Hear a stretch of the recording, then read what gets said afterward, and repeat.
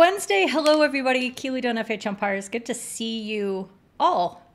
And when I say see you all, meaning I'm seeing you through a piece of glass in my imagination. I am very glad to be here. We have wrapped up the World Cup, and that is going to be the main focus of what we talk about, or actually our main obsession, really, of what we talk about today. So I'm looking forward to all of that. And yes, my timer was not in place because I don't know if you remember last week, my scene blew up, and that's why I was a little bit late getting on. I was like, oh, wait a minute. Remember that time that the scene blew up? And I had to pull the overlays back on, but I forgot to recreate the timer. So, anyway, whatever. We're here, and that's the most important thing. Saying hi to everybody already in the chat. It was really good to see you. We do have a new friend in the house, Stephen Hunter. Good to have you on for the first time live. Yeah, DJ air horn. I bring the class and the style. That's that's the way I roll. And let's see, Marcos, haven't seen you for a hot minute. Hola, cómo estás? I hope you're well. And Reg is here. Reju's here, and Paul. Whoa, another first timer. Hi. I love this. I love it when people are willing to come up and say, "Yeah, it's my first time live," and then I get to blow obnoxious sounds. Blow obnoxious sounds? Sound them. Whatever. There you go. is it clear? What up in the house? Yeah, there you go. Good to see you, Nick. And Peter is here. That is awesome. you just are you just guessing now? Are you just just trying to throw out every possible permutation of the consonants and hope that the vowels sort of sort themselves out? That's fine. I'm I'm here. I'm here for that. Uh, here we go. This is what we're talking about today. Dangerous shots on goal. Hopefully, this is all coming through okay. My computer's doing weird stuff. Um, player management. No, this is last week's. This is last week's, and everything blew up. So hang on. Nope. I don't accept this. I don't accept this. I will not. I will not accept this. Everything is a little bit off kilter today. See what I mean? This is this is where we're supposed to be. So, okay, I'm no, no, I, I refuse. No, I give in. Okay, we're to talk about, I'm to look at my notes. Um, we're to talk about deliberately playing the ball with the body after we talk about sliding players, because Sebastian was really upset that we didn't get to sliding players last week. So we're going to do a bunch of stuff on sliding players, deliberately playing with the body, moving your feet on the penalty stroke, goalkeepers. We're going to talk about face masks. And then I'm going to wrap up with some overall trends that I spied over watching. I will admit there were three matches I did not watch on the final day. I didn't. I just didn't watch them. So I'm only at 41 of 44 possible matches. And I will watch the other ones at some point. I just had to get that guy's voice out of my very, very annoying. But there you go. Oh, Gary, you're back. It's good to have you. It's been a while. There you go. And yes, do the thing that the, the, the weird lady says down here. Join us on our Discord server, fhumpires.com forward slash DS. That's where we hang out and build our community and talk about umpiring in a constructive and fun way. And sometimes there are many gifts involved. Just sometimes. Mike, you're driving, okay? Mike, stop. You're driving. Just put the phone down, okay? We I promised I promised you in the pre-show that we were going to talk about you while we were here. So we will. Just don't just like a desperate Aussie referral. Oh my goodness. There you go. Everything's broken. Yep. Blame Hamish. Continue. Yeah, absolutely. Uh, Hamish, I know you're pretending you're not here, but I am blaming everything on you. And your ears are probably burning. And you're like, oh, wait a minute. I'm, I must be missing Keely giving me grief. Hi, Jared. Good to see you. It's been a while to see you as well. Thanks for being there. You'll stick to hi. yeah, keep it simple, right? Keep it simple. All right. Let's get down to business. Hopefully, this will work. Sliding players. This is what we're going with. There are sound effects that aren't sounding. I, oh, man. So, this was the first play that I pulled out. And I wanted to do so because we do talk about players sliding sometimes in a very black and white context. And I have spoken on many occasions about how we need to be very, very clear that we are meeting all of the criterion that need to exist in order for the automatic 10 minute yellow card to apply. So the poll question here is what would you do in this situation? Do you believe there is a foul here? Would you call a free hit defense? Would you, or sorry, free hit attack? Would you give a free hit and a card? Would you allow this to play on or with advantage and and not do anything about it, or would you play on the advantage and then have a have a bit of a have a bit of a word, throw some side eye, give a little what for to this to the player who has made this sliding slash diving tackle. So I'd love to hear from you. And and then I'll tell you what the right answer is. I'm just kidding. Actually, I'm not really kidding. Should you ban Mike? I don't know. Like it's probably for the greater good in so many ways. But there you go. Taco, it has been forever. I'm glad you're here. Thank you. It, this is great. It's like a reunion show. It's like y'all are okay, if she's going to wrap up the, the World Cup, now I'm going to come. I'm going to make my grand return. I'm going to announce. I'm going to get showered with affection and love, and then I'm never going to leave. That's what I'm hoping you're all going to say. Undisclosed amount of time, yellow card. Uh, minimum five hours. there we go. Hi, Graham. Glad you're here. Okay.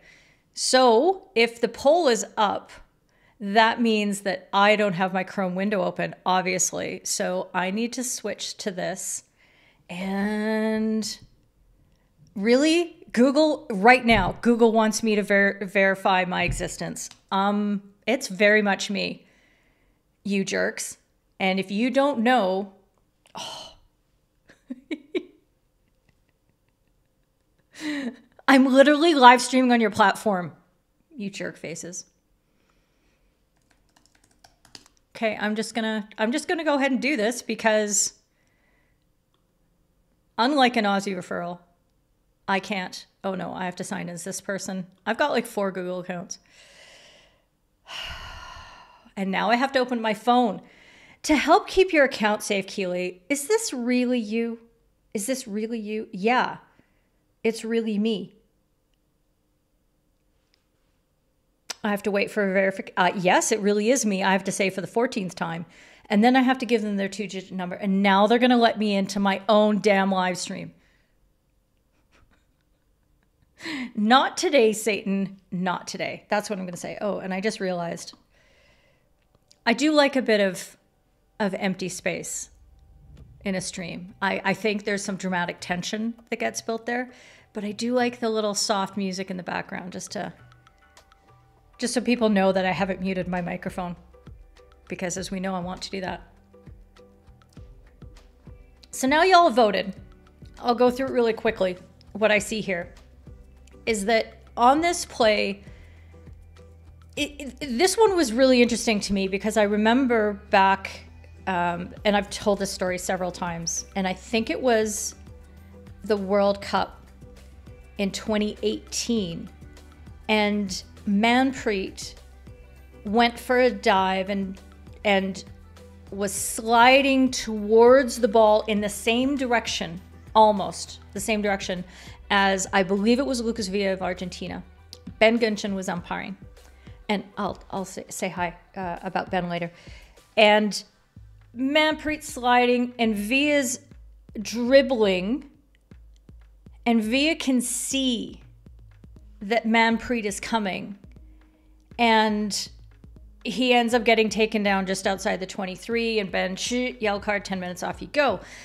And a couple of top players were on Twitter saying, dude can get around that.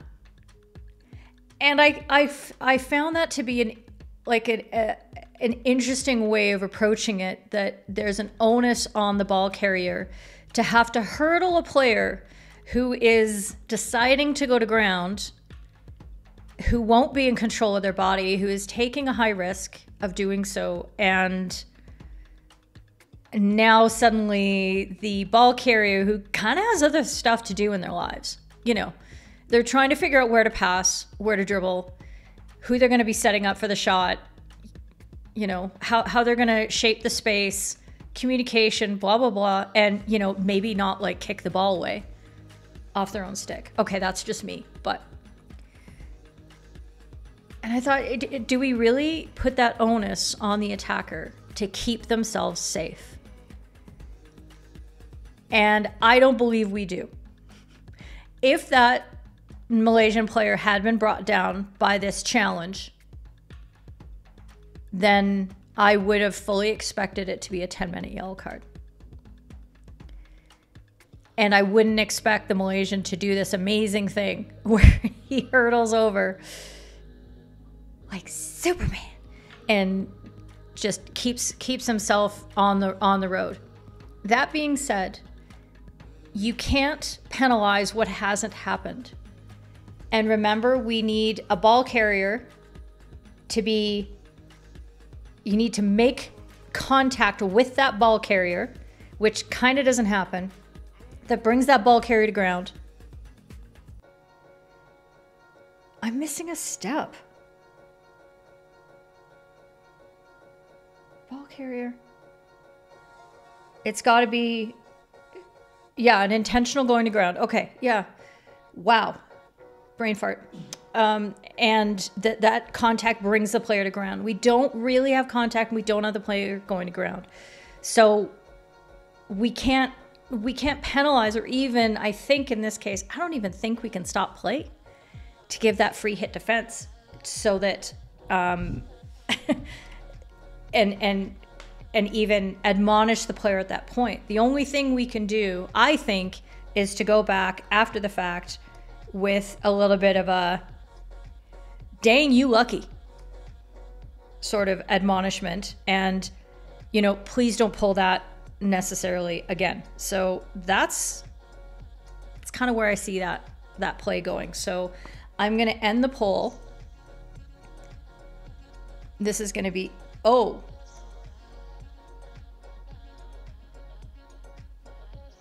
There's a red button above the poll that says end stream.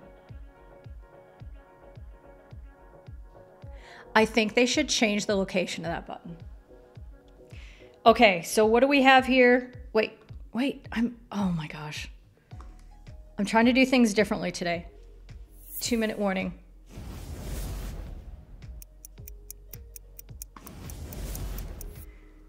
So what we had was, where's my thing? okay, 70% of you, 74% of you wanted play on plus a warning. Okay, and then 19% were just happy just to play that on. Okay. P. Maybe I should have kept things more simple today. And somebody did want a free hat, a free hit attack and a card, a 6% of you. And I guess in that case, I would I would ask you to look at in that particular scenario what disadvantage that player suffered in that moment and what would have been the better result for the team. If you had stopped that play, that, that Malaysian player was off and running. So you don't, you, you, you have to be reading and expecting, okay, how can this player make use of the space in front of them? What passing options do they have, et cetera, et cetera? What is the best option for them in this moment? And if you feel strongly that you're going to come back to a card for whatever reason, remember, you can play on an advantage. Arm up, yelling, advantage. You can even say things, uh, you know, like, I'm coming back to you, that sort of thing. And that can be the best combination of all worlds. There you go.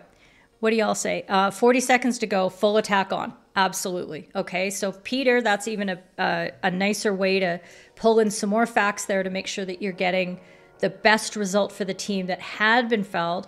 You don't see an intent to slide tackle on this one. It, it's the player is in full control of their decision. The player is in full c- control of their decision to dive and to go to ground in that moment. Okay. And that's what we're talking about there is that they they know they know. And it's not like they tripped and fell. They just went out. And even though we can call it a sliding tackle or a diving tackle, does it matter if it's head first or feet first? I mean, it does because if you're the slider, you're a lot safer if you go feet first. but that's about it. Um, difference makes a dive like what happens here or a trip over their own feet, but you need the replay. Yeah, no, he didn't trip over his own feet. He went full out trying to intercept that ball. There's no intent to slide into the tackle, but an awkward position to end up in. They do cause a disadvantage. Am I on drugs?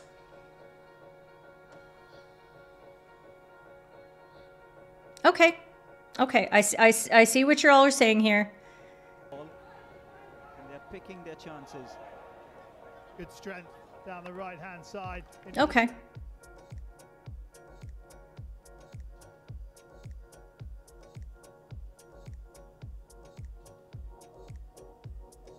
I still see a little bit. I, I keep I keep watching it. And now I'm I'm wavering. But the good news is it doesn't change what the call would be. the good news is. Hi, Mabeno. Good to see you. And then Jamal, without coaching the player, that was bad, unsuccessful. Have a quit seat to think about what you've done. I mean, I, yeah, I just I see that they've they've risked reaching to stretch out and and going. Uh, I don't think the player has just slipped. So there you go. It looks like a trip, play advantage, but no warning for Rachel. Okay, you did think he did intentionally go to ground, but had little impact on the play. Yes, that was that was the way I saw it before y'all threw doubts into my mind. And the attacker is not brought to ground, absolutely, and that's that's sort of one of the main things I want you to focus on. Sometimes I have seen umpires get a little bit mm, card happy when they see a player going to ground because they're like, oh, player went to ground. I'm going to card this. because I know I'm supposed to, but you need the other elements. You need the contact being made. You need that player being brought down in order to mandatory to be required to be giving a 10 minute yellow card in that situation. You could. You could give a 10 minute yellow card when all those factors don't exist, but it's not mandatory. And if you can't apply those factors and shape them properly to that situation, then you're in a little bit of trouble. Um, let's see. Traffic lights, it sounds like carnage. There you go. what sells you is not intentional as the stick ends up under him. Mm. Yes, and Mike voted play while driving. Okay. Uh, yeah, okay. And that's fair. And I think what's important is you guys are looking for you're looking for things that give you more information as to whether this player is in control of their actions. And, you know, uh, Mike McDowell and I have gone through a little bit of a discussion on a play that we saw where a player did something kind of similar to that in the circle and did bring the player down and we talked about you know what what we saw as being the full extent of that recklessness and what things needed to be applied. So mike i'm interested uh, particularly in light of that scenario what you know how, how that applies or how that's shaped by what you've got here. So now that i've really gotten off to a strong start let's go to this next one I'm way more sure about this. so I'd like to know, in this case, what do you see here? Because there seems to be a lot of. Um,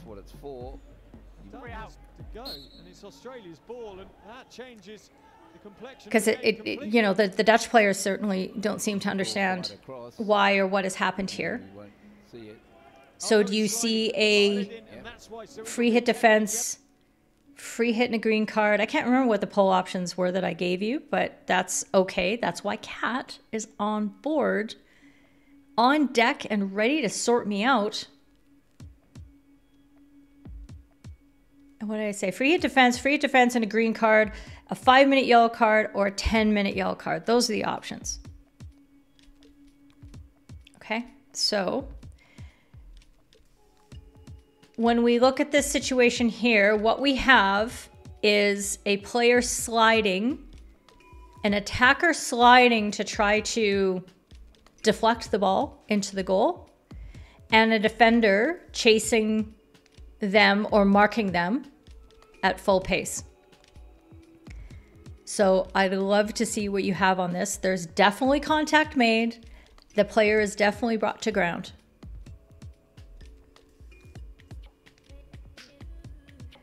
Purdy, you're never late as long as you're here. He struggled when this one was live, as the Dutch player was down his knee first and the Australian runs into him. It's reckless and clumsy low impact for Steven, but Q for the game, so likely been something before yellow seems fair.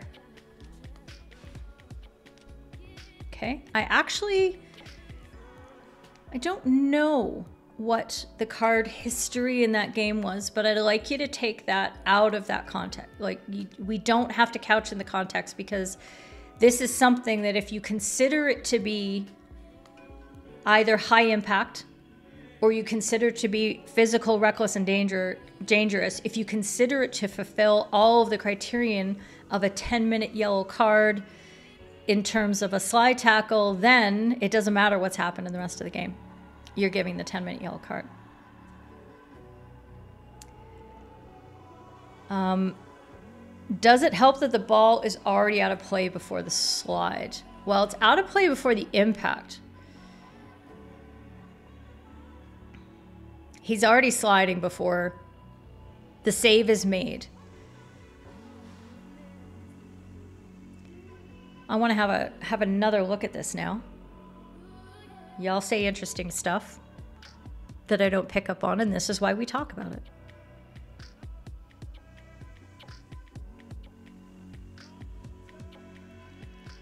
Okay, for Raju, it's a 10 minute yellow because the player is being brought to ground.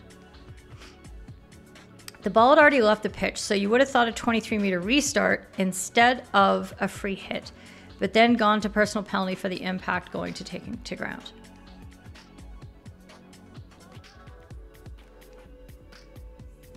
Andrew is the sliding player ahead of the player he takes down. Is the trip inevitable, or does the Australian player run into the sliding player? So, this is one of the points that I want to tease out. Not because I'm saying I, I think in this in this case it's really difficult when we see it in slow motion, it makes it look much more like the Australian defender is running towards the Dutch player. Okay? But if we try to watch a little bit more carefully of how closely the Australian defender is marking, and I'll try to, in that moment, when you watch it in real speed, that happens very quickly. The Aussie player is very close to him. And the Dutch player makes that decision to go to ground. It would be really difficult at full pace for any defender to avoid this contact. But it's worth looking at because that's why I keep stressing that I don't like this interpretation of the briefing and I don't think it's constructive where we apply it to any slide. There's a distinction in the rules between what is a tackle and what is not. A tackle is defined as a player having possession of the ball and a member of the opposing team trying to dispossess that possession. And there's a reason for that definition because it creates a bunch of other, it creates a hockey reality of if I have the ball and I'm looking down, trying to look around, thinking of passing, thinking of playing, thinking of shooting, it's much more difficult for me to understand where a defender is and to keep track of them. Whereas if you don't have the ball and the ball is flying in from the other side and being saved by your goalkeeper and going off the end line, you have more control over you have you have more perception. You're able to take into account another player who might be going to ground. And if you run into that player, knowing full well and being able to perceive that and having the control of your own body, can you really say that the defender has caused that danger. Now, in this situation, for me, well, I'll, I'll, I'll wait. I'll, I'll, go through a few more comments and then I'll end the poll and then I'll try to tell you what I think. Um, but it's something that we need to be aware of, I think, because there is a risk that we get into a sports ball like situation where players are just running in for the sake of earning cards and earning fouls and then they get up and they're they're going like this shaking their their card hand. And ain't nobody got time for that. We don't have time to become sports ball. We don't want it. Taco thought the dutch player was ahead but now it seems more like he's next to the defender it might be a clumsy slide that makes the defender trip, but cannot do anything to avoid. It's not a clumsy slide. It's an intentional, I'm going to ground because I'm going to try to slide and deflect this ball. Correct that right now, because that is not the way we're applying this. He goes down in an extended, I'm, and whether he, he has to do so considering the safety of the players around him. Now, if that defender is further away from him and he's like, I'm pretty sure I can go down on the slide and things are going to be cool, this guy isn't going to run into me, that's different. Okay, but it's not a clumsy slide. It's a graceful execution of a ballet like maneuver that is potentially dangerous. And we ascribe that part of the responsibility onto that player who's sliding. Okay, hope that's clear.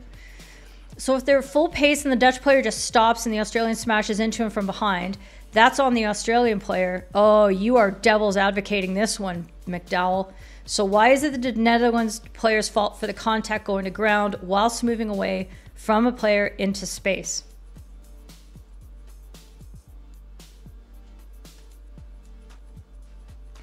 I think the distinction, and I, I, I mean, I, I want to give this good thought because it is a good point.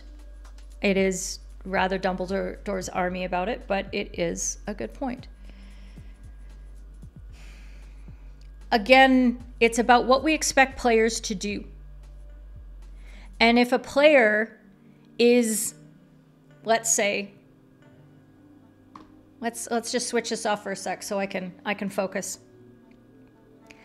Players carrying the ball down the field, and they're they're just dribbling in a straight line, and they have a chasing defender.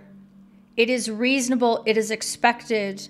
It is part of the game that that player may suddenly change their direction to go off this way because there's somebody else who's coming up. Another defender is coming in front of him and he wants to avoid that player. He's getting ready to do a maneuver. He's trying to change his passing lanes. He's trying to, for example, what if he stops because he's holding up because he wants to give his teammate a chance to get into the far corner so he can aerial the ball into that corner. But he has to pause for a second. Is he is that an expected hockey play, an expected maneuver? Absolutely. Is a player who goes in for a slide and is carrying off, do we put that in the same category as things that are controlled, expected, etc.? No, we don't. We don't. Because they don't have control over the situation. They're not the ball carrier. They're not and and and they're they're the ones they're the ones taking that positive action and taking that intentional yeah, that that intentional maneuver. And then they don't have control anymore.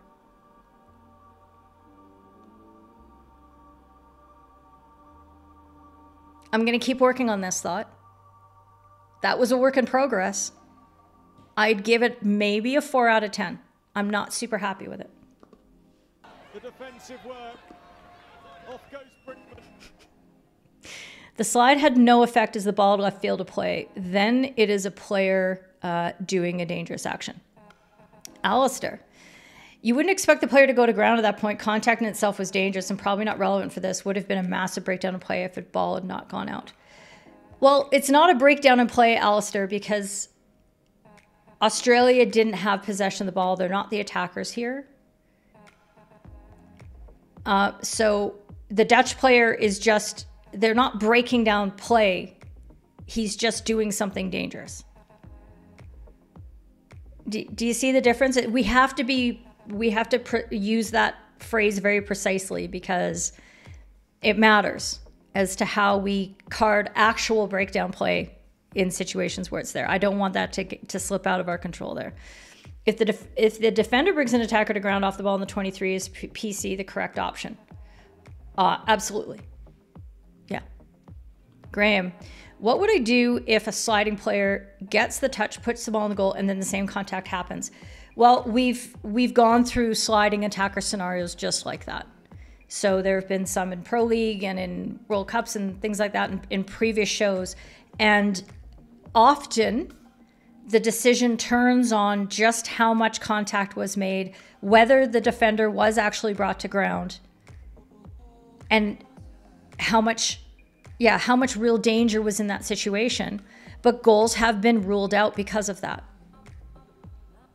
So, yeah, what would I do if I felt that the, it was a if it was a dangerous slide, it brought somebody to ground and a goal was scored, then you blow a free hit and you give a 10 minute yellow card. If I don't feel it was exceptionally dangerous because I feel like the defender, you know, had had a chance or wasn't high high velocity, then maybe I could go with a 5. But of course, you would rule out the goal. It's re- Peter. It's reckless to safety the other player. It takes an opponent to ground with a potential cause injury. You're taking them all. But the, the one thing it, it, we don't have, we that we don't have the criterion. Am I going to have to get my all my chalk talk here? Am I going to have to number them all for you? What we don't have is a player in possession of the ball. And I think that's a crucial distinction because this is not a slide tackle. This is a sliding attacker. Very different. Very different. Should this still be a 10 minute yellow card because of the velocity, the danger, and all that kind of stuff? Yes. Is this an automatic 10 minute yellow card because it ticks all the boxes? No, it doesn't tick all the boxes. It ticks two of the three boxes because it's not a tackle, in my view, and under the definition of the rules of hockey. And I think that that is a distinction worth making. Mm, I, okay, I see what you're saying, Taco, but I'm, I'm still. As a defender, you would expect an attacker potentially a slide for deflection if they were moving towards the goal. Hmm, okay. I'll accept it and I'll think about it. Attacker moving into space should expect the defender to follow, especially in front of goal. Has the duty to be safe going off his feet. Yeah. Yeah. When he's marking that tight, if you can't see the defender, if you think you're free to, free and clear, it gets a little a little harder, right? Steven, you can expect an attacker to slide in this situation. You think the attacker was ahead of the defender, goes straight, goes in a straight line. The defender comes across to get in front when the player is on the ground. 23 meter restart, Steven. Um, yeah, I, I, I don't agree with this perception of this, but absolutely. We'll see you soon. Okay, let's end this poll. No, not to end the stream. No, Keely, press the correct button. Two minute warning.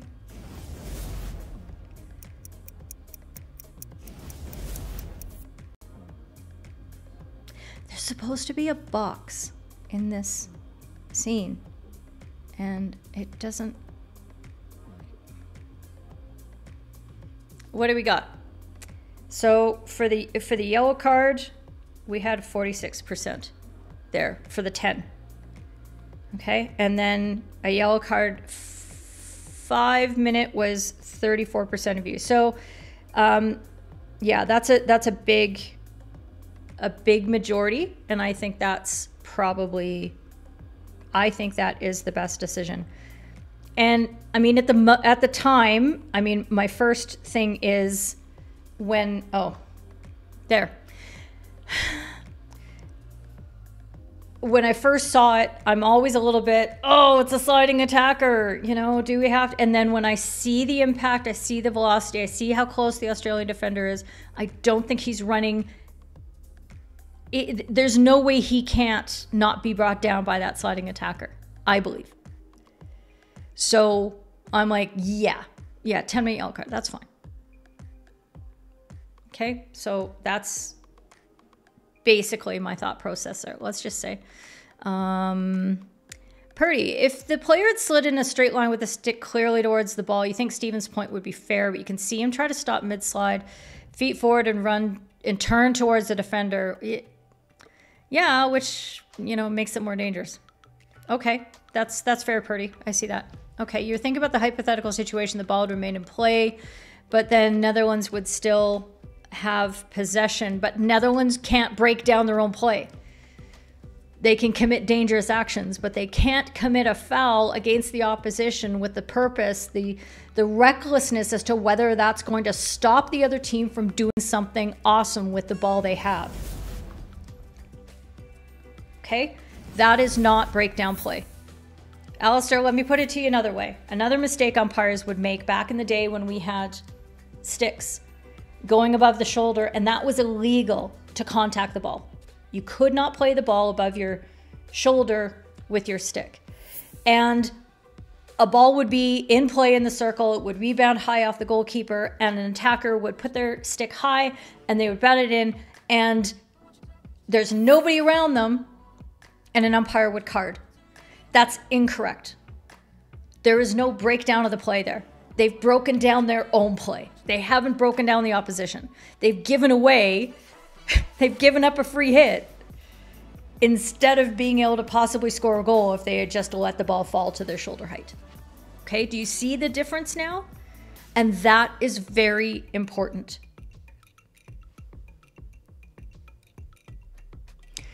I'm just making faces now because hopefully that convinces people. Apparently, people are decide on emotions and not rationality. So there's my emotion. I don't know what emotion that was. Uh, McDowell, you can see it both ways, and Dan was in the best position to see the lines and the timing. Yes, and that's like the last sort of wrap up point, and I think that's a really good thing to to point out. So, thank you for that, Peter. You agree it's not a tackle, but it's still, albeit not mandatory. Yep, good.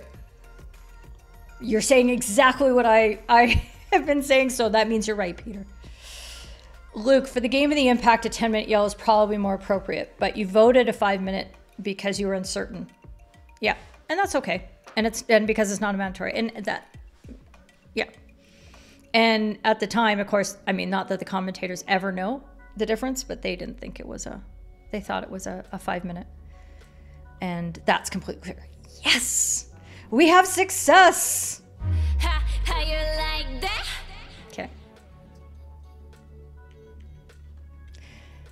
It's taken a little longer than I had thought. Here's the last slide. Oh, I just noticed that left layoff sneaking in a bit early there. There's a Dutch player down in front of him. And it's stuck in. It's gone in. Yeah, Gareth, I think it was with a hit. Let's wait So and watch. my referral. It's a lot of Dan today. Two things for me. So one where you just take the slide of the attacker into the goalkeeper. Yep. And then secondly, did the ball cross the line? I've given a goal. Okay, we'll check all of that. I don't care if the ball crossed the line. That's not interesting. But what we're looking at is this slide. So everything we just talked about, bring it to this poll.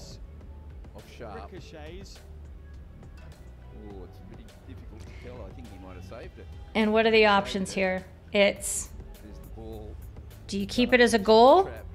Do you blow a free hit defense? Do you have a free hit defense and a green card, or free hit defense and a yellow card? And I'll accept a five or the 10, doesn't matter.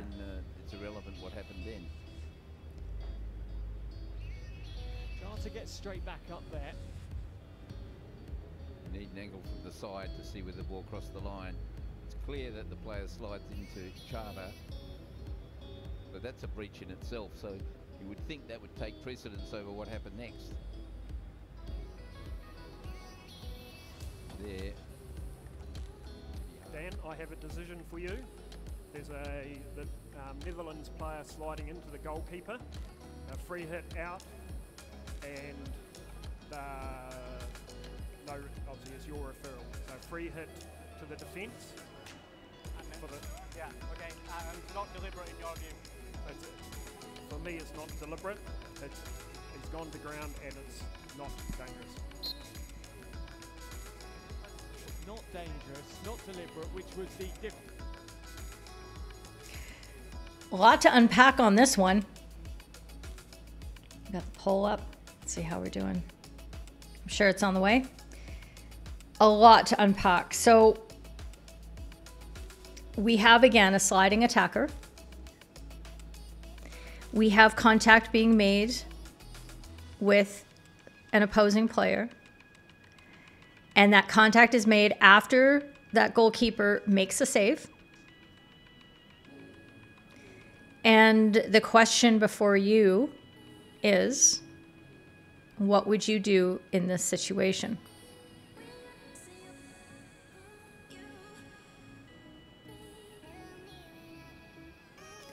Is there a separation between the team penalty, if any, or the team award, and the personal penalty that might exist?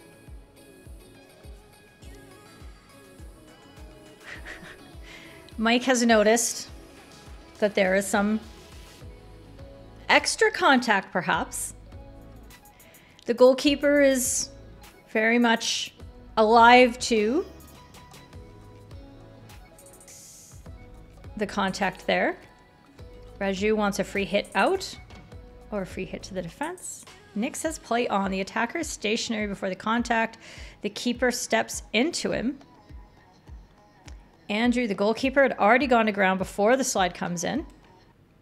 So for him, that doesn't, the, the slide does not bring the player to ground. So, all right, I understand where you're going with that, Andrew. Good. Stephen, you find it hard to say the sliding tackle isn't deliberate, though the keeper gives the attacker a good knee in the head. And we've we've gone through this a few times, and this is no shade. because this is a really intellectually interesting play to parse out. And when you are that umpire in the video booth in this case, you are now in a situation where you're trying to be verbally acute in explaining what's happening. And if you haven't figured out over I'm almost 110 episodes into these particular kind of live streams where I do solo escapades and discussions with you lot. If you haven't figured out by now that trying to explain these situations clearly, concisely, with a minimum amount, minimum amount of language, if you don't know that that's hard by this point, trust. Let me tell you right now, this is difficult, and I'm still working really hard to try to improve how I do this and still making tons of mistakes. So, Gareth saying that it wasn't deliberate, I think, is just a slip of the tongue because what he's trying to do is distinguish between what he feels is a cardable offense, in his opinion, and what isn't and he's hinging that on the word deliberate. But unfortunately, he, but he doesn't have to do that. For me, the action is entirely deliberate. It's entirely intentional that he's gone down in that slide. But the question is whether it's actually dangerous. Does it bring the player to, to does it bring the goalkeeper to ground? Does it even disadvantage the goalkeeper in this situation is the last question that I would put to you. Okay. For Purdy, it's a free hit defense. Attacker appears to start and stop the slide after the save. Doesn't seem to be any danger. The goalkeeper must be allowed to turn towards the rebound even if the attacker is obstructing. Okay. Uh, McDowell, you think the slide is fine, and then there's a bit of a tete-a-tete between them. Not sure how disadvantaged the goalkeeper is after that, but he does trip accidentally over the player on the ground. And yeah, and that's and and so we're we're starting to get into the meat of this here, and I think maybe we can cordon off the section Would we apply a personal penalty in this situation? Is this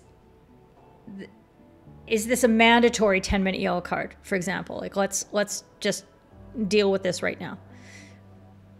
Was it a sliding tackle against a player in possession of the ball that makes contact and brings that ball carrier to ground? No. So it's definitely not a mandatory yellow card in my view. For another kind of penalty for danger. Was the the attacker in full control of their body and decided to make that slide? Yes. Did they cause danger by doing so? Some of you might be thinking, well, the goalkeeper's got lots of equipment and all that kind of stuff. Just because they might need a little extra oomph in order to get bruised doesn't mean that this isn't potentially a dangerous situation and we would still apply the same standard. But if we see this degree of contact, would we would we feel that that's still dangerous enough to require a personal penalty?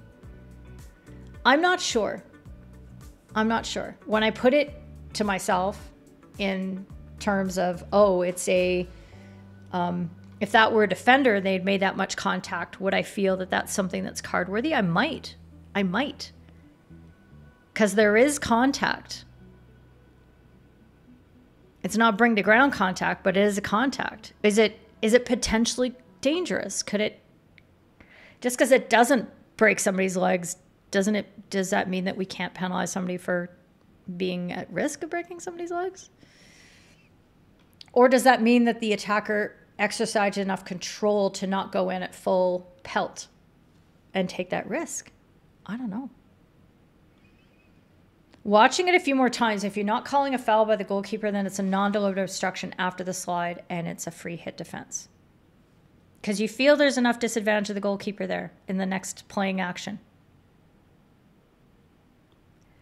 The slide is deliberate. Yes, Taco, good. And late, yes, as well as as well as the response, as well is the response of the goalkeeper, but the goalkeeper was not disadvantaged. So a play on for you. I understand, Taco. You would argue a free defense without a card as the slide was not dangerous, but there was an obstruction resulting from it. And I guess what I'm interested in is for those of you in the crowd who are goalkeepers, do you have moments of which that there are there is body contact between you and other players? And are those are are you finding in the you know in those moments if that if that contact happens because you're in place and you're and you're making a save or you've moved into a space where you're best able to make that save and then there's body contact the contact is gone you're set and ready for the shot do you feel then that that contact disadvantaged you from the next action i know i kind of begged the question there in that statement but i'm kind of wondering um, Purdy, you're obviously a goalkeeper, and you know that you have less, fewer injuries than your teammates, and that's sort of fair. Steven, your goal, goalkeepers were all that. Yeah, you're big softies. You're absolutely right. For Jamal, uh, the player made contact after the save. The slide of the goalkeeper does not affect the save, but with the wet pitch on purpose, this is a play that comes from the surface. Yeah. Oh, of course, nobody does it on sand turf. No personal penalty acquired. It may be just a verbal warning. Yeah, in, in other situations, yeah, very much. And you're watching it even more, my, McDowell. So now you know what my problem is because I, I watch the clip and live and then I go back and I actually create the clip in Final Cut Pro and then I bring it in here and then I watch it a few more times and then I watch it with you lot. And by then I've watched it 40 times and I have to keep going back to my principles. The more I watch it, you say, you're looking at the pad into the attacker being partly pretty deliberate. He's made the save with a stretch, and then suddenly he knees his back. Uh, the knee is back over his ankle. The knee is back over his ankle. The knee is back over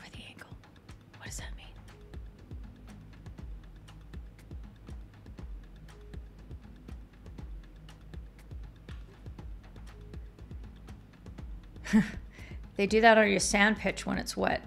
It's on its last legs and you slide for a mile, says Denman. Okay, let's uh, let's end the poll and see if I can wrap this up in a two minute warning. I have no faith that I'm going to be able to do this, but let's find out.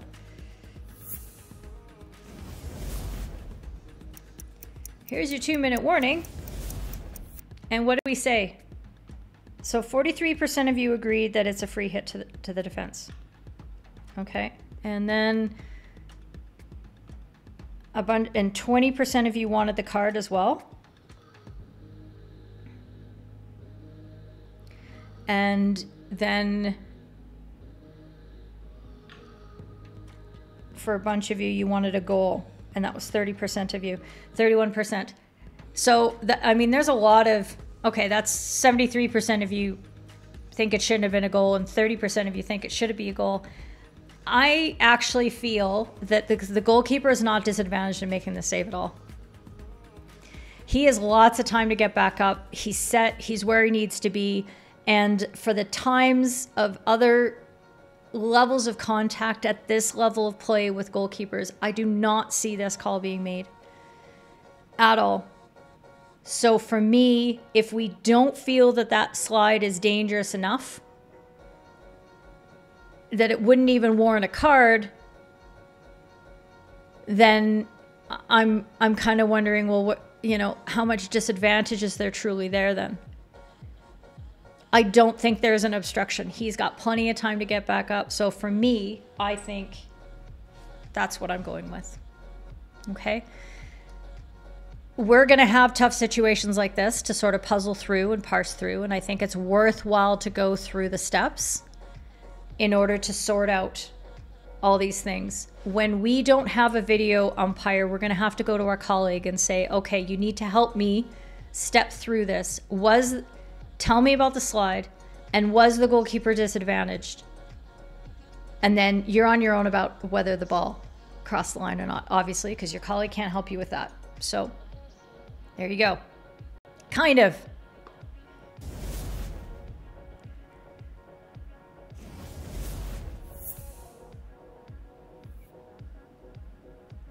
Uh, you think the initial reaction of the keeper is just following the ball. He needs something. He finds something obstructing him, so he gives it a bit extra. Yeah, I mean, it's there's nothing super malicious in it. He's just kind of like, hmm. I'd clear them out too. Um, Steven, by bringing his foot back underneath him, not moving his ball towards the foot that's stretched out. Okay. I think I, I see what's happening there. Or Denman. Oh, that was, yeah, to Denman. Okay.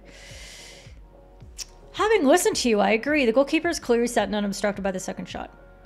Thanks, Purdy. That means a lot to me. We're we're just getting to know each other here, so I'm I'm I'm glad that that that had a had a bearing. It's it's difficult because I really what I would like to see is that the sliding attacker for doing something that wasn't super dangerous but was dangerous enough, but that didn't disadvantage, I would still like to see a card, but the goal's given. At this level, that's a shit show. Like, just nobody will understand it, and nobody will like it. And actually, at every level, nobody would like it or understand it. It would be such a hard sell, such a hard sell. But to me, there's a separation between the personal penalty p- potential and the the team award. And if this had happened somewhere else on the pitch, this had happened outside the circle and a player went for a slide for some weird reason and made that degree of contact, but it wasn't worthy of a team penalty because the ball wasn't even there, you would want to do something about it because you still want the players to conduct themselves in a safe manner. It's a tough one. We're gonna do lunges in the Discord party to work it out. Okay, you you guys, you nerded out like the delightful nerds that you are. My favorite. Thank you very much for that. That was that was an interesting conversation. I liked that. Uh, let's get into topic two because after all, it's one o'clock and I've got lots of time. What? Deliberately playing the ball with the body. We're gonna have to go a little faster. You voted goal. Steve on the last one. I appreciate that about you. Firm. Okay, so this happened a little early in the tournament, but I wanted to bring this out because there's a little bit of it actually kind of almost has has hints of sliding and diving. It's a nice little tangent or not seg. It's a nice seg from one to the other. And I don't even think, yeah, I don't even think we really need to take a poll here. Is anybody surprised to see a yellow card come out for this particular play? And if you are, why? And let's just talk about it. I just, I don't want to assume what looks very obvious to me is obvious to everybody else. So feel free. Um, you disagree on the obstruction. He trips over the player. But he's not on the floor when the ball comes in. He's standing up. Okay, we're going to have to fight about this later, McDowell. Okay, so what we're seeing here is uh, a New Zealand defender attempting to intercept the ball, and he doesn't corral that first attempt.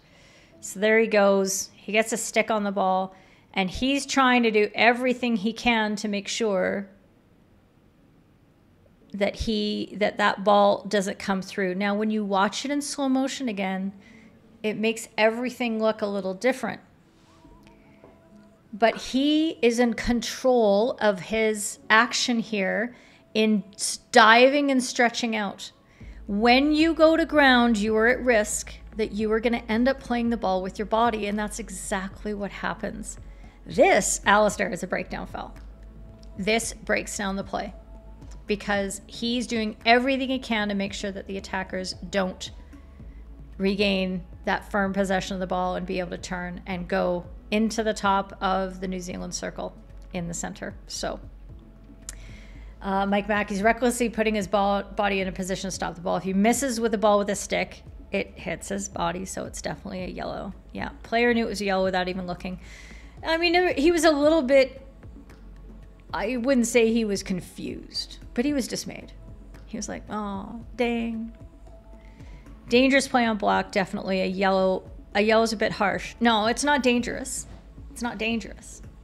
Not really. Who's he endangering? Well, himself. Yeah.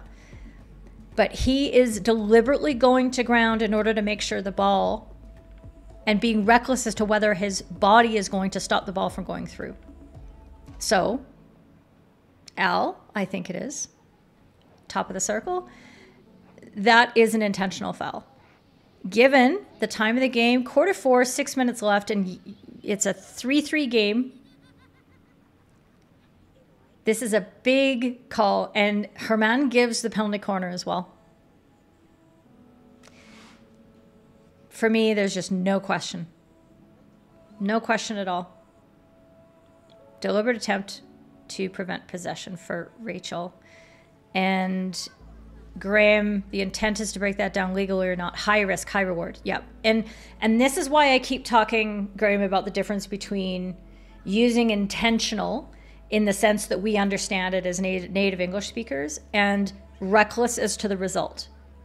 And Stephen Hunter, yeah, you're not still here, but this this was also something that, we talked about in the server with with Stephen, which was that we have to separate those two things out because somebody is going to say, "Well, I didn't mean to give up a penalty corner. I didn't mean for that ball to hit my body. That wasn't my intention. My intention was actually to dive and to hit it out of the air and save the day. That was my intention." but you were in full control of your action, which was to stretch out, go to ground, block the space with your body. So the risk was if you didn't have control of the ball, if you didn't play it away, it was highly likely it was going to hit your body. And that is a good thing for you because if it was only a free hit, well, that gives all your teammates a chance to get back and reset their structure, blah, blah, blah, blah, blah. That is what breakdown play is. And that is why we have to use these words very intentionally when we talk about it. Uh, yeah. I mean, maybe it could have been a green earlier in the game, but still, it's just, yeah. Taco, you see the New Zealand player dive into the ball, and the England player, Indian player, has the ball backwards and therefore lands on the ball. What if the Indian player was a little later to touch the ball? I, I, I don't know. Like, a lot of different things could have happened here. Um, and what we have to penalize is what happens. So, but given the impact now, you see the breakdown. Excellent. Good stuff. Okay, here's the second scenario. Ball on and in it comes from Moore. And here the chance with Fairster, that's has to be. The chance with Fairster, that's has to be. Yeah. This, has been, this is probably going to be would be the final. Uh, stop, Steve, did he? Okay, good. He played the ball with the body straight, right? Yeah. When Ye's I was sliding thinking the stick or the body.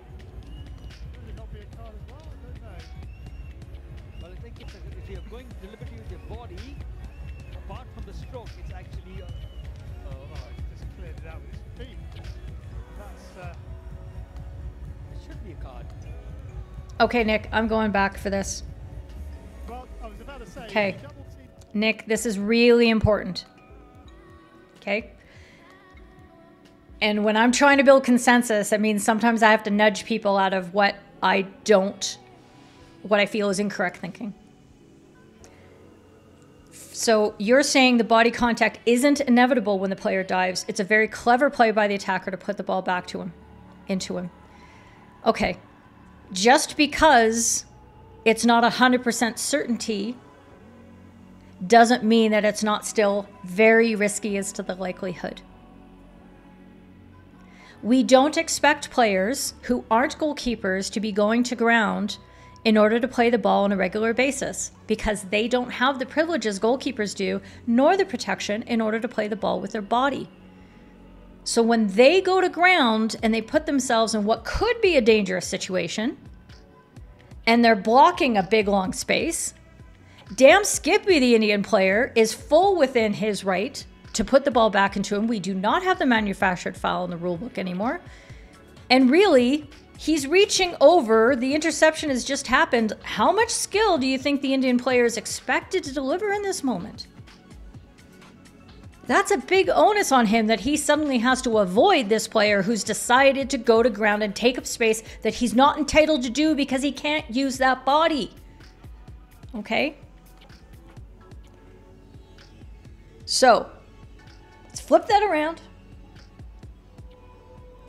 And let's get back to the other situation. So for Godders here, it's a penalty stroke and a card. So let's say.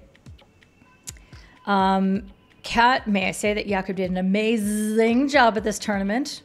You learned a lot from him. Jakub's presentation is bar none just fantastic. And there's a ton to learn about that.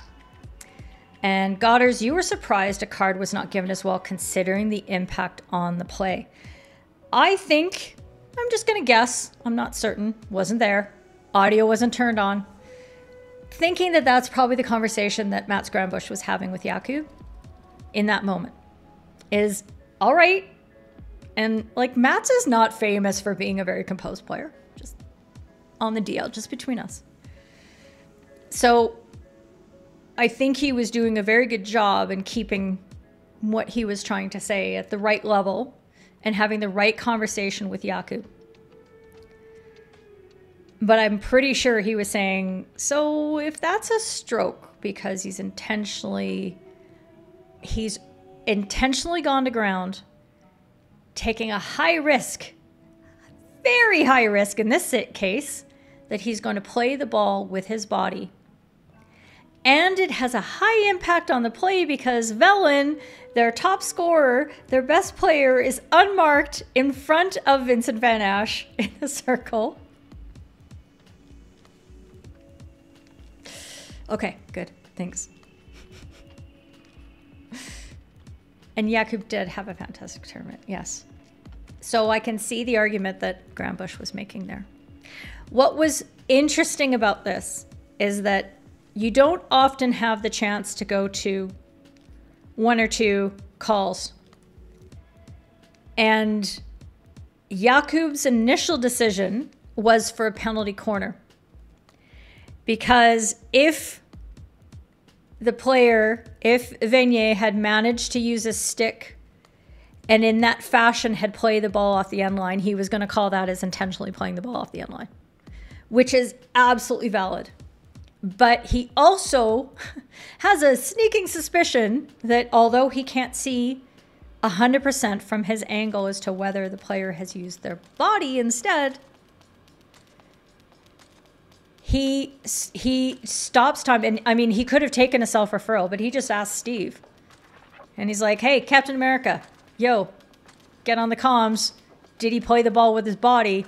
And he knew exactly what he was going to do after that and went to the penalty stroke.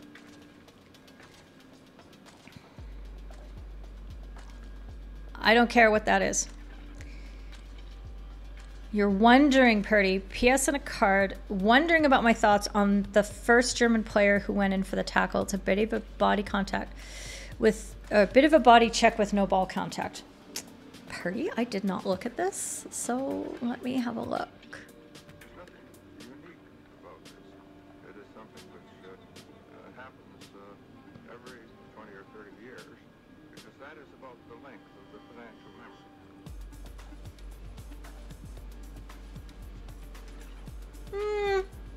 So if you do mean the one who was who was pressuring the shot taker, um, yeah, I mean, there's he, he does a good job of leaning with minimal amount of body contact. There is always body contact at this level, and it's whether it was disadvantageous or not. I don't think so. He got his he got a shot away the way that he wanted, or his intended pass away the way that he wanted. So.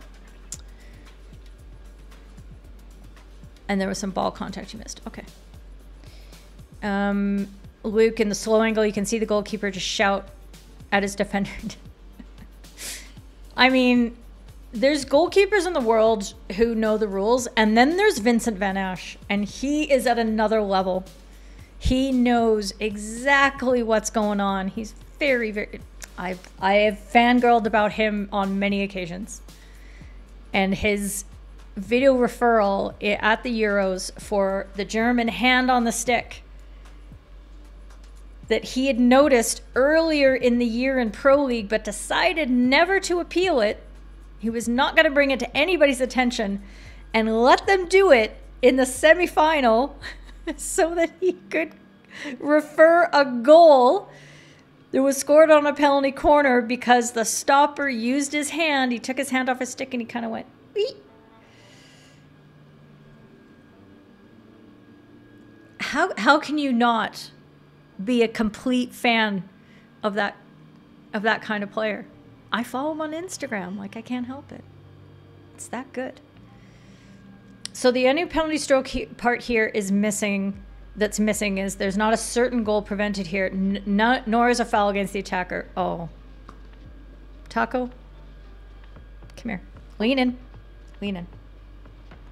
Okay, actually, let's do it this way.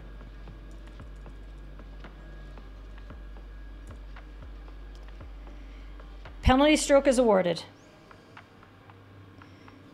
I'm gonna have to change my the color of my pen now just to draw out this. There are two separate things that you look for.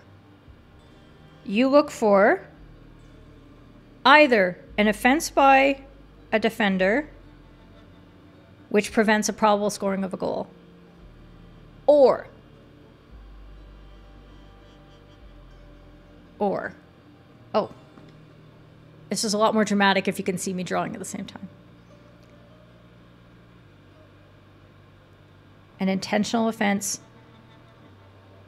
in the circle by a defender against a player who has possession of the ball or likely possession of the ball.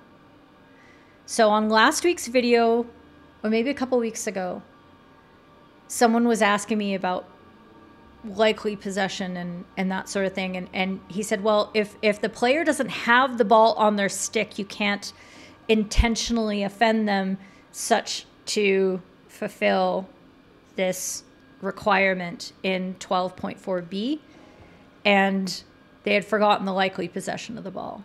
And that is one hell of a likelihood in this particular case. Okay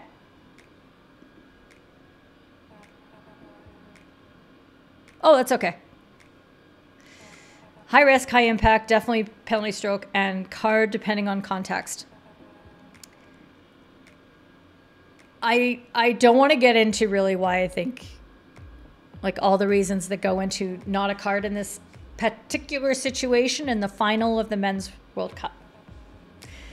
But what I want you to think about is the impact here the impact on the play.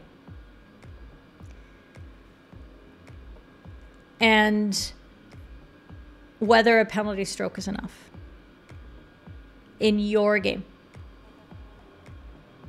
I think there's going to be many situations where you come to a different conclusion and you're going to be awarding a five minute yellow card there. That's all I can say. Yes, Quentin, you remember best referral ever. I'm sure that's what a remontada is. Is that what a remontada? Yes. Best referral ever. Thanks for backing me up there. And hi there, Quentin. Are you are you new? Are you You get the DJ air horn. Okay. Okay, looks like we weren't running a poll, so cool. I'll just move to the next one. It's all good. Excelente. So that such it, bitch. Oh, okay. Whew. Yeah, we'll be able to speed through this one. This is goalkeepers moving their feet early on a penalty stroke. Semi-final. Up against Pirmin Blaak. Misses. Love down his right hand side. I would like a poll on this one. Just because I want you to exercise your decision making powers here. To the right and batted a bit and got a stick down so quick to it. Well, Tom Boon obviously wasn't watching the keeper. He just wanted to keep his head down. So decided Taco, I see what you're saying uh, here. This is no longer, as of about the last sort of four years, something that we should be focused on when we're making these calls.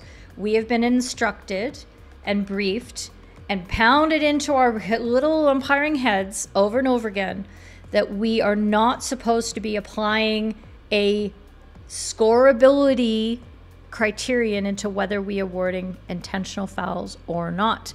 We are simply to award them, and if we award them, then we can also award personal penalties. If we award a personal penalty for an intentional foul, we must give the team penalty upgrade. Okay? And I guess I'm really pounding into your head because this is every every show I think I make mention of this. It's been 108 shows. It's a lot of shows. Just saying. Is there a link to that referral? Yes, there is, Queen, and I will find it for you and I will put it in the description and there will be a little thing on the YouTube like a little card that flashes up going, "Hey," because boy, did I make a big deal out of this when it happened. Is this topic going to stress you as a goalkeeper? Maybe.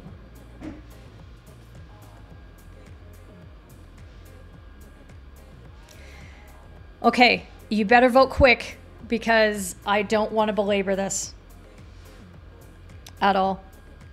So hopefully you've all voted. I'm about to end the poll, and I know there's a lag. It's about 20 seconds between when I talk and when you guys hear it. Am I going to wait 20 seconds? Yes, I'm going to delay this because you better have your vote in and all that kind of thing. I do believe in the replay that I break it down very much for you on this replay here.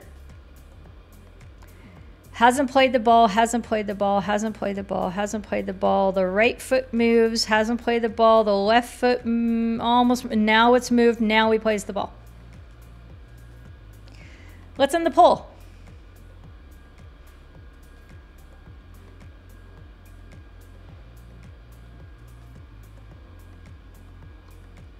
Two minute warning.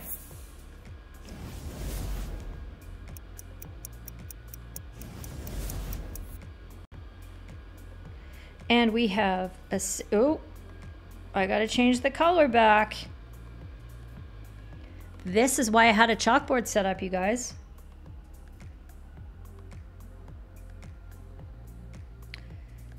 Sixty percent retake. And 31% of you wanted a,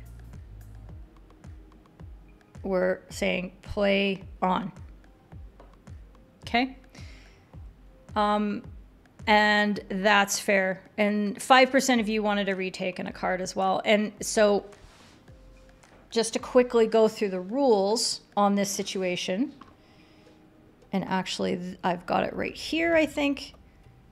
Okay, so for a defense during the taking of a penalty stroke, if the player defending the stroke prevents a goal from being scored, but moves either foot before the ball has been played, the player can be cautioned and for any subsequent offense must be suspended. Okay, so you have the option. If a goal has been prevented by an early foot movement, you could warn them. You also could card them right away. But if they do it a second time, you must card them in this situation, in the semifinal of the Men's World Cup, I would have expected just a retake and a warning, even though they have a second goalkeeper, because it's just sort of big. And we're looking at this language here about um, moving either foot before the ball has been played. I don't think there's a lot of a lot of room for us there to go any other way. Okay. Difficult to see in the moment. What was interesting to me is that um, they had their referral. Belgium had their referral and didn't take it. And they're just like, oh, okay. They won anyway. They went on to go to the final, but I thought, whoa. There you go. Here's another one.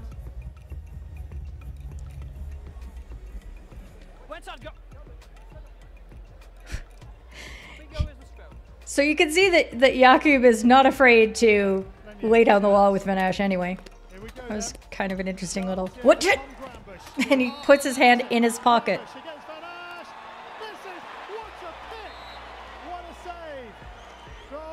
So Tom Grambusch considers it. Did he move his feet? He turns back to Jakub and sort of does a motion like feet. He had his referral. Could have taken it. But even then, they're not sure. Okay? Hasn't played the ball. Right there is when he plays the ball. Same, same, same poll. If you want to do it. And this is for the last one. So I'll just go through your comments on the last ones and you can watch the, the next one. But for all of you watching the replay, all these comments are for the last play. Okay?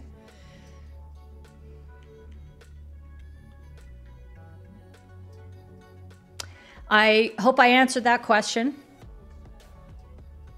Al, you know, you, you pop into to a What Up Wednesday, you got to bring the goods. You got to bring the goods. Get out your rule book and have a look.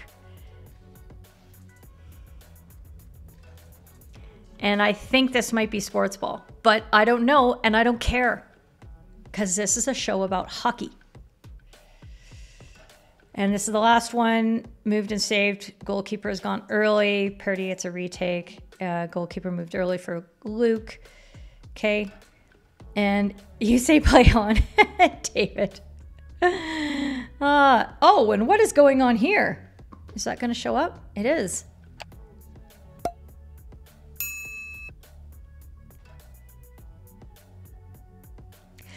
You don't have to stand still. Al, look at the words. Al, look at the words. You don't have to be still. You just can't move your feet. So a goalkeeper who bounces up and down without moving their feet, cool. Goalkeeper who smacks his posts and does all that thing that goalkeepers I think is really cool to do, that's fine as long as they don't move their feet. You can't move your feet. Just don't move your feet. He could do like the, the, the Macarena as long as he doesn't move his feet.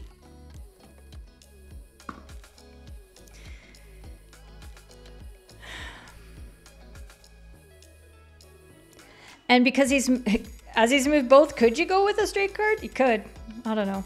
The fact that he saved it with such an early movement, I don't know. Like, I wouldn't have been surprised not to see a card. I also would not have been surprised if we did. Uh, sorry, did I? Whatever. Either way, I would not have been surprised. What I was surprised at is that it wasn't a retake. I am the worst at seeing these. Like, there's a lot of stuff that I think ah, I'm a pretty good umpire at. I'm really bad at seeing goalkeeper movement. I just kind of think, yeah, they're cool. Let them do what they do. I'm laissez faire, as it were, about goalkeepers. But this I saw in real time and went, or that I saw in real time. Okay, so let's see what's happening with this one here. Uh, no, that's not it.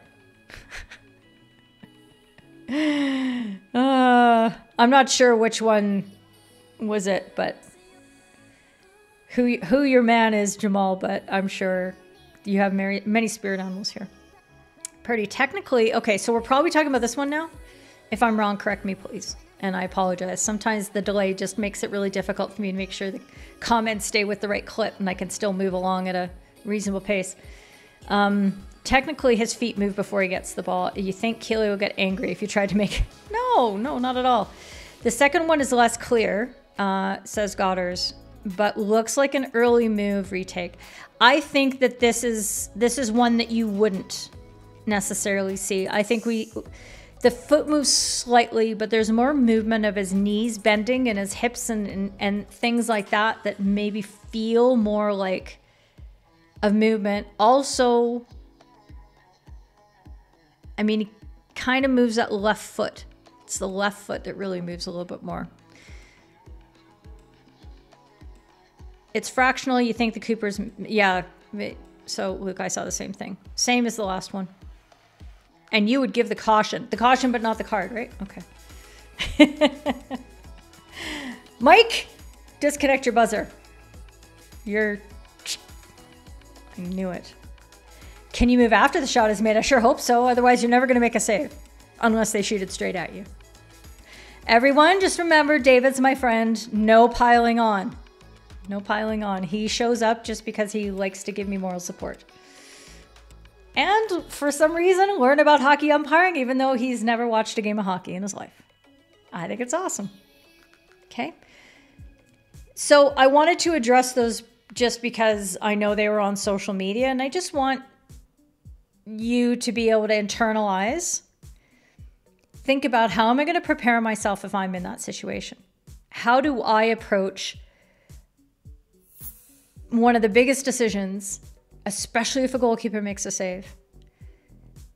One of the biggest decisions, a semifinal, a final, in whatever the top competition that you get to umpire in. And all that pressure's on you. How do you prepare yourself? What are you going to watch for? Do you grease the wheels in your brain? If I see the goalkeeper move early, this is what I'm going to do.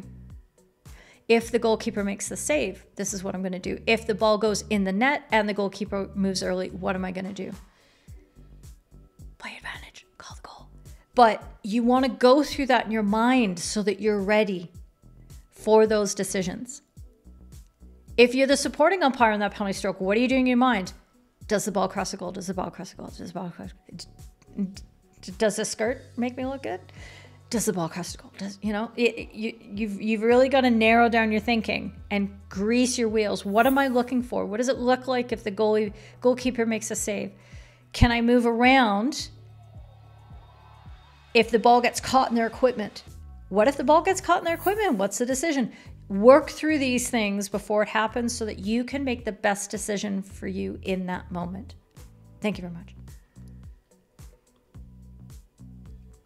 And Nick, that's why I, I think you're absolutely right. And Nick's just pointing out that if you watch, you know, if you watch 100% of penalty stroke attempts, you're probably going to see on 80% of them the goalkeeper moving their feet a little bit.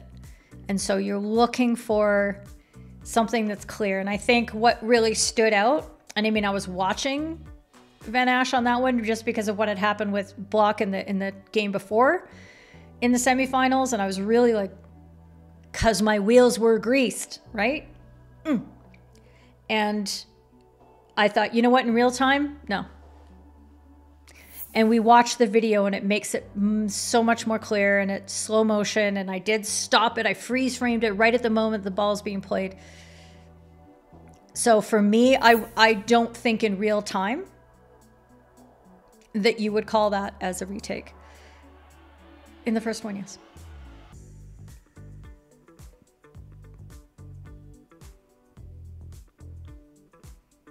Um, yeah, I wasn't sure. Uh, Godders, I've watched it a few times. I, I don't know if he actually did deflect it onto the post or if it was just going to the post.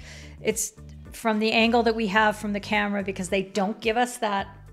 If they'd given us the same angle we had on the Blaak save, we would have known if there was a touch because the angle of the ball would have clearly changed. But they didn't give it to us, which is an interesting directorial decision. Hey, production team, why did you do that? Okay. Put keepers in starting blocks. and oof, can you imagine false starts? That'd be so. We have reached the hour. Oops, sorry. Okay. Um, so the last thing I'm going to talk about, I'm probably not going to be able to wrap this thing up in terms of wrapping up the Hockey World Cup. So let me just go through this one because it did get raised on the server. And I want to make sure that we are very clear because maybe you missed this. Maybe you weren't around in November when we covered this topic about throwing a face mask. Right on the times. In fact, it was Christian Patak, I beg your pardon. Right after the completion of quarter number two, Team India went with the same policy, but one guy is down for South okay, Africa. I, I have your question. Right. Do you want a physio one? Let me deal with him first, and then, and then we'll take a referral. Right, they've called a referral, which they're allowed to do. Yeah, which they're allowed. It's in the circle. It's a deemed referral. Yeah. So if you can hear, Bruce is handling this so well. Referral called by South Africa for a foul on the circle. If you can check the situation, please. And he explains to Harmanpreet that, look, I'm going to tend to the injury first, but they've called a referral, so just hold on. He tends to the South African player and makes sure that he's okay. this is a you know this is a head injury slash could be blood, could be serious face injury. I have a decision for you. Uh, defender number. I don't know where you were, Katerina.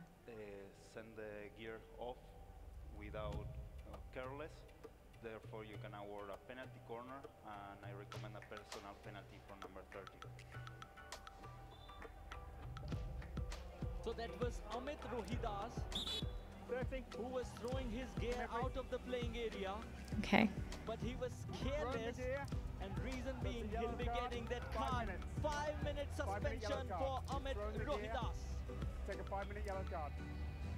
You get a five minute yellow card. Okay. So that was the situation. This is the rule that we're looking at. And McDowell, we talked about this in the server. And what I should have done was to make you go and look up 916 in the moment, but I didn't.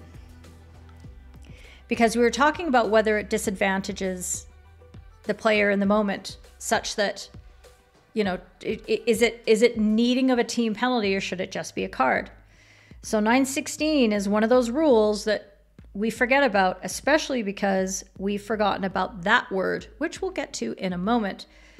But players must not throw their masks. Okay. Onto the field, at the ball, or at another player, umpire, or person. It's almost like umpires aren't people. How, how you like that? But the remedies are prescribed. A free hit should be awarded if this occurs outside the circle, and a penalty corner awarded if it happens inside the circle. This rule that has been sitting in front of our faces for years that we haven't had to look at has come into play yet again. Oh my goodness, because this was the one. Ooh, this is loud.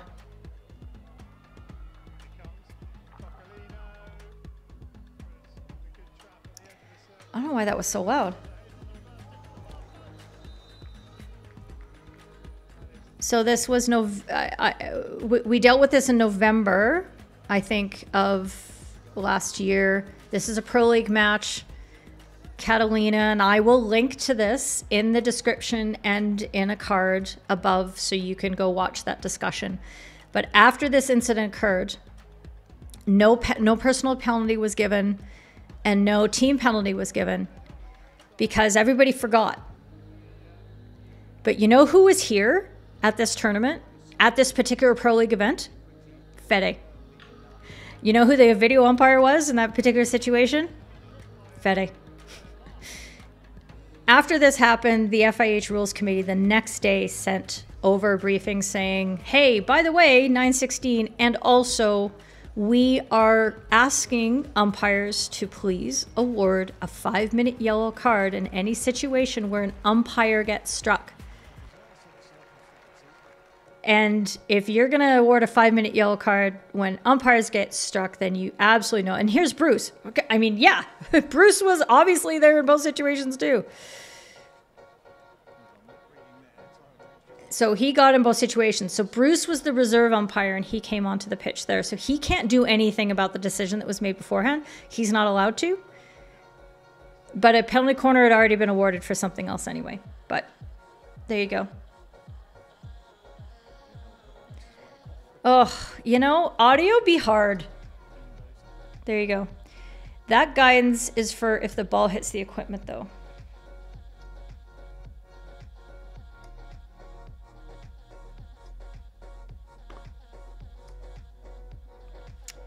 Damn it, McDowell.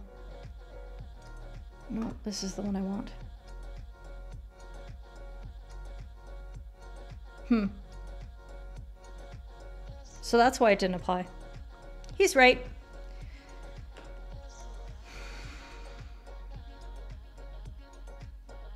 Hmm. I'm going to have to puzzle upon this more. Because in the situation that we were looking at, in this situation that we're not that situation, this situation that we were looking at, the ball was in play. And I, I did leave the poll option. I, if we had had time for a poll, we would have done it where it is okay, is it a um, the ball the, the play is stopped about here because Bruce realizes there's a head slash facial injury on the pitch and time just has to be stopped um, immediately. That's the guidance that we have in the briefing and in every good rules clinic that you ever had will tell you that. So the play could have been restarted with a bully. It was in India's possession, and it could have been one of those uncontested bullies. South Africa plays it off the end line. India regains possession at the 15 meter, blah, blah, blah. So in this situation, Fede recommended that the play restarts with penalty corner and a personal penalty didn't he didn't prescribe it. He didn't say you have to give a yellow minute five minute yellow. He left that up to bruce. So that'll be very interesting. Yep. So taco you two are both right in catching me on that. Uh, you assume it was given for reckless play and danger to the south african player. Yes but the question is just like I was talking about, and this this theme again of the goalkeeper being disadvantaged by the sliding attacker. Something can be dangerous and need addressing with a personal penalty, but not require redressing with a team penalty because the balance, the scales of justice have not been disrupted in vis-a-vis the two teams against each other and what they're doing in the contest. Okay, so that's why this is important. So, what I'll do, everybody, is I will go back and check with people that I know. So, whether that briefing also prescribed that if somebody throws their mask and hits somebody inside the circle, regardless of where the ball is, that that needs to be considered a penalty card, a, a, a penalty corner, sorry, as well as the personal penalty that's prescribed. That very well may have been the briefing. And it's kind of hard to, to argue against that in a lot of ways, but it does throw a little bit of a wrench into our normal considerations of what should be considered a team penalty or not. So your little thought out comment Discord ignore the intentional offense on a player, not possession of the ball in the circle. Or ill thought out. Yeah, but it still has to be disadvantageous. Even if the player doesn't have possession of the ball, there still has to be disadvantage in order for a team penalty to be needed. Right?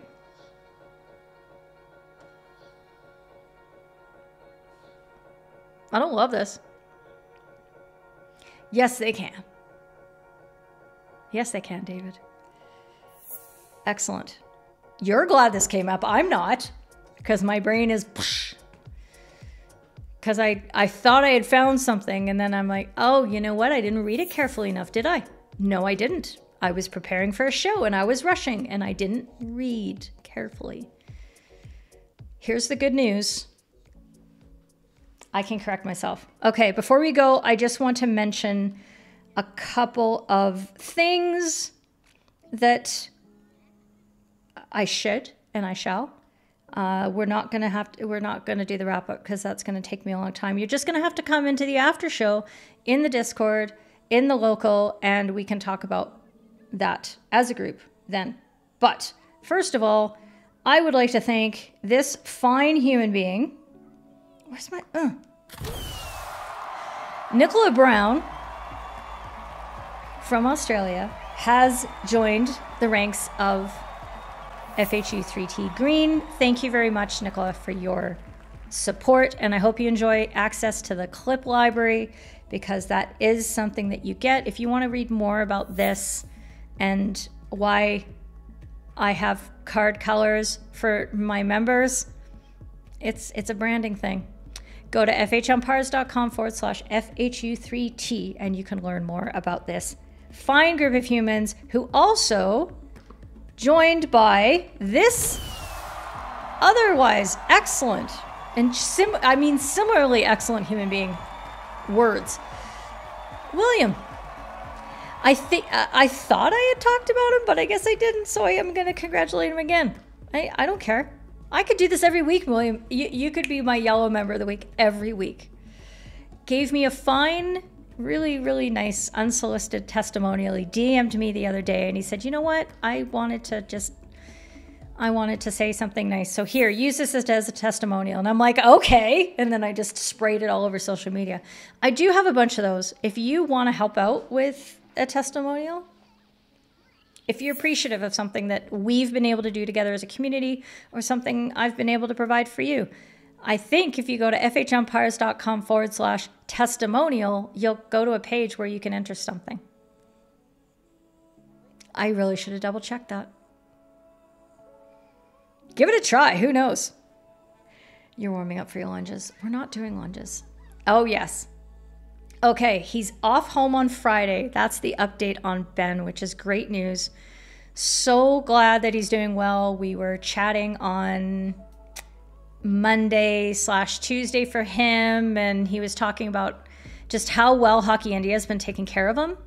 And just, and that's just really nice to hear because if you can imagine being still stuck behind in the host country, all of your friends are flying home, you've suffered this injury, you've had a surgery, you don't know you like the doctors haven't told you when they think you might be able to be released, when you might be able to go home, what it's going to feel like to get on a plane with all of that going on.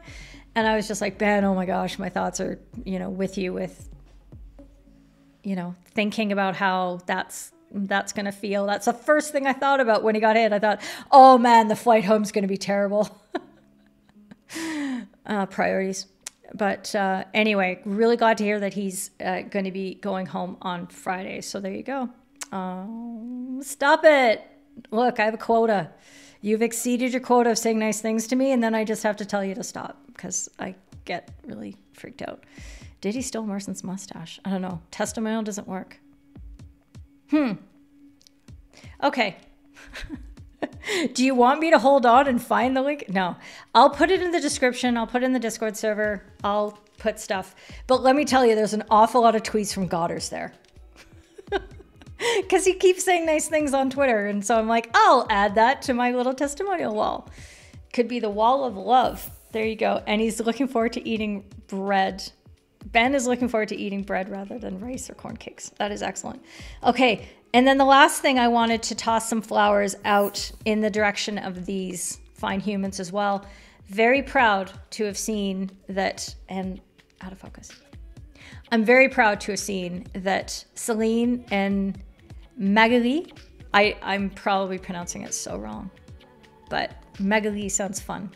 Magali Sargent de Belgique they were appointed to the men's Belgian indoor finals, as you can see from the graphic there. And I just think that's awesome. And I mean, like the men's final. Okay. Also, making some history was Rachel Williams, who umpired uh, in the Super Sixes and did a men's finals match as well and Rachel was, I think she had her first international men's match in the Pro League in Argentina uh, just a couple of, a month or two ago, several weeks ago, and did a fantastic job. I was really, really impressed. So, uh, really glad to hear that she got an opportunity at the men's Super Sixes. But again, it's it's about if great umpires should be doing great games.